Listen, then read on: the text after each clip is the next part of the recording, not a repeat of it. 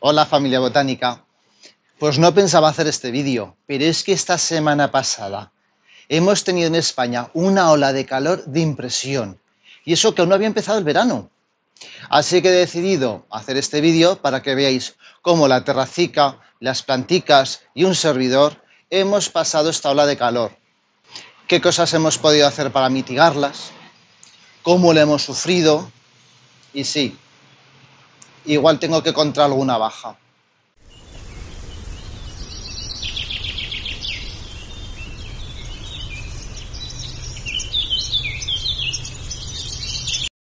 Para poneros un poco en situación, en mi ciudad, en Zaragoza, ha habido mínimas por las noches de unos 25-27 grados y por el día se han llegado a alcanzar picos de 42 y de 43 grados.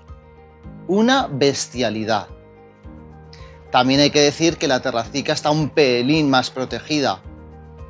Por lo tanto, sí que os tengo que decir que por las noches lo normal es que las plantas estuvieran a 25 27 grados y por el día la temperatura máxima que he visto han sido de 38, que ya vale. Vamos a empezar por el rinconcito de plantas tropicales que tengo en exterior. Yo creo que en general son las que mejor lo han pasado. Claro, es una zona de la terraza donde nunca pega el sol, pero sí toda la luz. Y como están todas juntas, han podido conseguir un grado alto de humedad. Cuando las plantas tienen mucha calor, sobre todo las tropicales, les salva que haya mucha humedad. El juntarlas consigue que esa humedad aumente. Desde luego también he tenido que estar pulverizando, porque antes de ir a trabajar pulverizaba, si venía a comer a casa pulverizaba, cuando volvía de trabajar pulverizaba, momento que veía, ¡pum!, a pulverizar. Y la verdad es que se han comportado muy bien, porque por mucho que sean plantas tropicales, que podéis decir, hombre, ya estarán acostumbradas al calor. A ver, como siempre os digo, el rango de temperatura óptima para una planta tropical es entre 18 y 25 grados. Y es que aquí tenían 25 por la noche. Pero siempre hay plantas que aguantan mejor que otras y siempre alguna planta más dramática. ¿Y cómo no vamos a tener un espatifilo, que son las plantas más dramáticas que tenemos? La verdad es que la pobrecita sufrió bastante, porque a pesar de estar pulverizándose constantemente, estaba demasiado pocha. También es verdad que de tanto pulverizarse, de tanto regarse, las raíces se saturaron un poco de agua y ya no solamente era el tema del calor, sino también demasiada humedad en las raíces. Pero bueno, poco a poco se está recuperando, ya está echando hojitas nuevas, que me está indicando que ya está muy contenta la planta, así que enseguida la recuperamos y estará como estaba antes. ¿Y el resto de plantas tropicales que tengo en el invernadero? ¿Qué tal les ha ido? Bueno, pues el invernadero no me he atrevido a cerrarlo, porque aunque hubiera aumentado mucho más la humedad, pero es verdad que tenía miedo a que se concentrara demasiado el calor. Así que lo he mantenido siempre abierto. Eso sí, es verdad que la humedad, con tanta sequedad del ambiente, bajaba a niveles ínfimos. He llegado a ver hasta 20% de humedad, y eso para plantas tropicales como las marantas es fatal. ¿Y sabéis lo que han hecho ellas? Defenderse. Todas las plantas intentan protegerse del calor de alguna manera. En este caso yo creo que más del calor era de la falta de humedad. ¿Y qué es lo que han hecho? Bueno, pues las marantas, las calateas, como norma, lo que hacen es cuando se van a dormir por la noche, pliegan las hojitas. ¿Y qué han hecho estas plantitas por la mañana? Plegar las hojitas.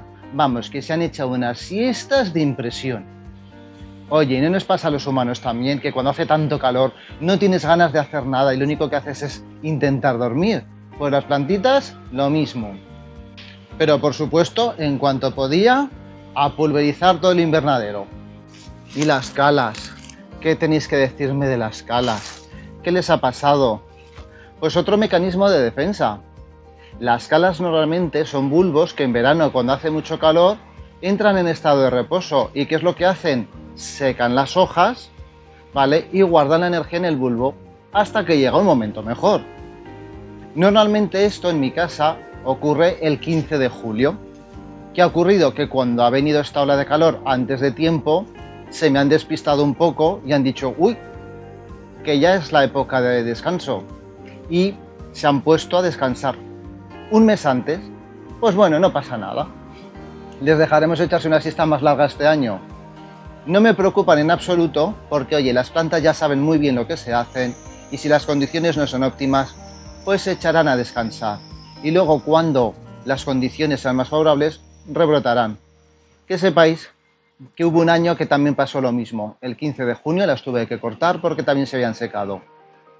A ver, que igual que os digo todo esto, también os digo que hay plantas que aguantan muy bien las olas de calor. Pues por ejemplo aquí tenéis una yuca que aguanta perfectamente. Detrás tengo una madreselva que incluso le ha dado por florecer. Lo que pasa es que en este vídeo os quiero mostrar más pues aquellas cositas que les pasan a las plantas cuando viene una ola de calor de estas. También hay que decir que hay que tener mucho cuidado y tener muy controlado el riego. Ya sabéis que yo tengo el riego automático programado. Bueno, pues además de esas programaciones, pues de vez en cuando, pues con el mismo riego automático hacía algún extra, sobre todo en las horas centrales que hace muchísima calor y vais a notar las plantas que están como lacias, que las hojas se le caen hacia abajo, que están tristonas y es simplemente que están en las horas centrales del sol y pues bueno, como nos pasaría a cualquiera, lo sufren. En ese momento un extra de riego les puede ayudar, pero siempre que sea a través de las raíces, es decir, no nos dé por regar con la manguera como si estuviera lloviendo, porque entonces se pueden provocar quemaduras. Una de las consecuencias de las olas de calor es que hay muchísimo sol con mucha intensidad, mucha sequedad en el ambiente y eso a veces puede provocar que las hojas se sequen o que tengan quemaduras. Aunque hayamos tenido cuidado con el riego, puede ser que haya partículas de agua de cuando regamos o de cuando pulverizamos que se queden adheridas a las hojas y hagan efecto lupa. Entonces eso, junto con el sol, pues va a provocar quemaduras en las hojas. Tampoco hay que preocuparse demasiado porque suele ser simplemente una o dos hojas y la planta sigue sana. Y también os quiero decir que se puede hacer un riego extra con manguera, así como si estuviera lloviendo, porque además de regar las plantas podemos refrescarlas un poco, pero hay que tener mucho cuidado de cuándo se hace. Es cuando no hay aso. Entonces, realmente el mejor momento del día es por la mañana. Yo, por ejemplo, en la terracica no puedo hacerlo porque por la mañana es justo el momento en que entra un poquito de sol hasta el fondo de la terraza. Entonces no me puedo arriesgar porque si las riego y después viene el sol, va a provocar muchas quemaduras en las hojas. Así que yo hacía este riego, pero por la noche, cuando ya se ponía el sol. Por ejemplo, a las 7, que ya no hay nada de sol, y aún les quedan unas cuantas horas hasta que anochezca del todo, regaba generosamente todas las plantas para que se refrescaran y bueno, pues también las raíces se vuelven a hidratar. Otra consecuencia de las olas de calor está relacionada con las flores. Las flores es algo que a las plantas les cuesta muchos recursos, muchos nutrientes, mucho esfuerzo. Entonces, si las pobrecitas están sufriendo, están súper estresadas con la ola de calor, lo que van a hacer posiblemente es sacrificar las flores. A ver, hay que pensar un poco como ellas. Si por echar una flor luego se va a debilitar toda la planta y el año que viene se va a morir, van a decir, no, lo siento, este año no doy flores y aguanto viva, oye, y ya florece el año que viene. Entonces muchas veces vamos a encontrarnos problemas con flores. Puede ser que no florezca. Pues, por ejemplo, la lantana este año ha decidido parar en seco la floración en el momento que ha subido la temperatura. La lantana es una planta que empieza a florecer en primavera y luego la tía se pasa la primavera, el verano y el otoño floreciendo.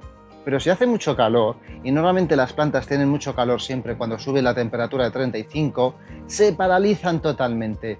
Y la lantana lo ha hecho, ha parado y no hay ni una flor. Ahora vuelve otra vez a retomar y a formar los capullitos. O puede ser que las flores que ya estaban en camino, pues por ejemplo rosas que ya estaban eh, a punto de abrirse, se han abierto. Lilium que estaban a punto de abrirse se han abierto, pero con este calor que ha habido han durado uno o dos días porque enseguida se han churruscado las pobres flores. Hablando de los lilium, una verdadera pena porque sabéis que es mi flor favorita, este año ha sido un poco caótico porque justo cuando estaban con los capullitos a punto de abrirse ha venido este calor. ¿Y qué es lo que han hecho muchos lilium? Abortar. han tirado el capullo entero, no lo han llegado a abrir.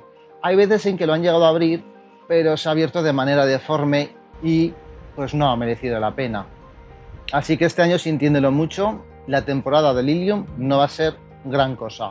Pero bueno, aún así estoy contento porque veis que hay cositas como esta maravilla de aquí que sí que están floreciendo bien. Bueno, os había dicho al principio del vídeo que mm, igual teníamos alguna baja y sí, así ha sido. Una de las plantas que sí que podemos decir que hemos perdido ha sido la hortensia.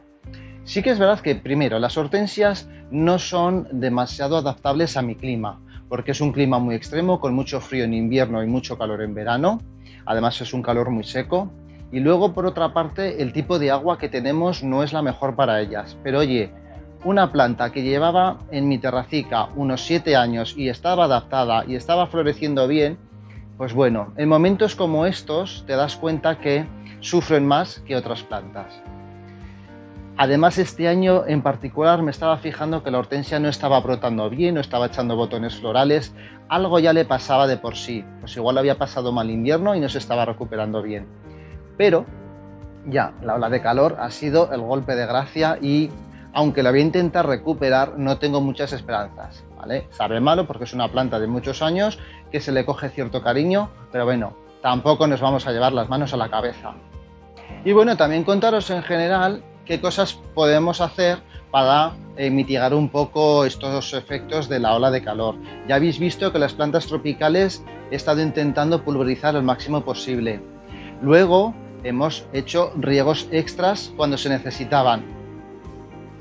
También he intentado regar cuando se ponía el sol o cuando no ha salido.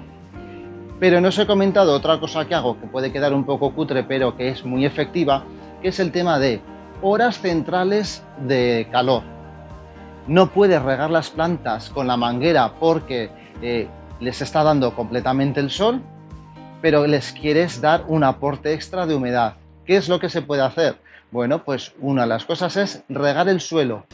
El mismo calor del suelo va a provocar que el agua se evapore, va a provocar mucha humedad en el ambiente y eso a las plantas les encanta, sobre todo si tienen calor. Y también solía poner una palangana o una piscinita pequeña que tengo con agua para que se fuera evaporando. Es una pena que no lo haya podido grabar, pero al final en la piscinita ponía muy poquita agua porque me daba cuenta que venían pajaritos a bañarse, a refrescarse. Oye, la ola de calor ha sido para todos. Y desde, desde el otro lado de la ventana pues podía ver de vez en cuando algún pajarito bañarse. Pero por lástima no lo he podido grabar porque la verdad es que son súper desconfiados y a nada que te acercas un poco desaparecen. Y bueno, pues hasta que ha llegado las aventuras y desventuras de la terracica en una ola de calor. Espero que os haya gustado el vídeo, que no sé, que igual os he dado una pequeña idea para qué hacer en estas olas de calor. Os dejo al final del vídeo también un enlace a un vídeo que hay sobre golpes de calor, que es súper interesante. Y bueno, ya os dejo, esperando que este verano se comporte y no nos dé muchos más sustos, aunque creo que tal como está el cambio climático, esto va a ser cada vez más frecuente. Así que salvemos el planeta y nos vemos en el siguiente vídeo. Hasta luego familia botánica.